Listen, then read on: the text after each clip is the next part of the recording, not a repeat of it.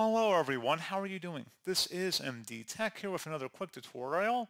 In today's tutorial, I'm going to show you guys how to create a second or multiple YouTube channels under the same Google account. So this should hopefully be a pretty straightforward process here guys. And without further ado, let's go ahead and jump right into it. So all you have to do is select your user profile icon on the top right.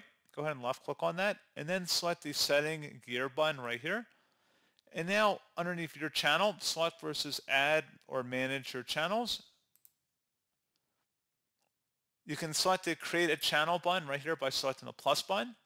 And then you can go ahead and create a new channel name and then you would check mark the box you are agreeing that the account has its own settings. You would create it and that's pretty much all you'd have to do. So pretty straightforward process on that guys.